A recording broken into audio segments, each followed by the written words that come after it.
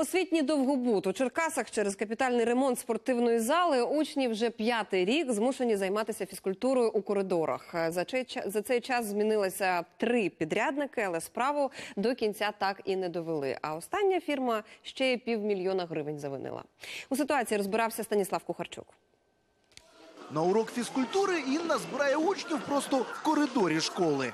Ну а як ви думаєте, 6 років зручно проводить уроки в вузьких коридорах, в яких ми не можемо займатися будь-якими ігровими видами спорту, тобто баскетбол, волейбол, футбол. Спортзал у п'ятій школі всюди, де є вільне місце. Головне не дуже галасувати, адже за стіною йдуть уроки. Яка тобі зозуленька? Питається він мишу. гамір е, на коридорі заважає нам і читати, і писати, і диктувати. Доводиться підвищувати голос. Та іншого виходу просто немає, адже спортзал виглядає як після апокаліпсису. Ремонтні роботи тут почали ще 2014-го і ніяк не закінчать. Схоже, що єдине приміщення, яке ще використовується у спортивній залі за призначенням, це ось ця роздягальня. Тут і кросівки, і спортивні штани, і навіть теніски. Щоправда, належать вони не викладачам і учням, а будівельникам трьох підрядних організацій, які протягом останніх п'яти років намагалися провести тут ремонт.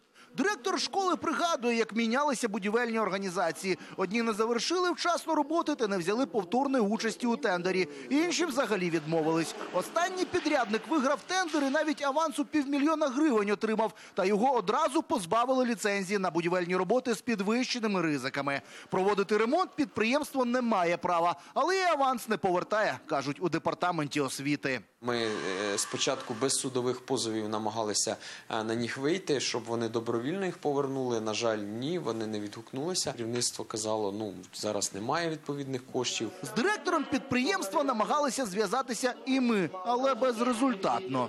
Хотіли б з вами зустрітися як е, з директором БТК «Лад».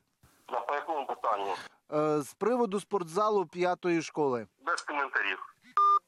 Аби повернути гроші, департамент освіти звернувся до прокуратури, яка підтримала позов освітян до суду. Там зобов'язали підприємство повернути 500 тисяч гривень. Крім того, за фактом шахрайства і привласнення фірмою бюджетних коштів відкрито окреме кримінальне провадження.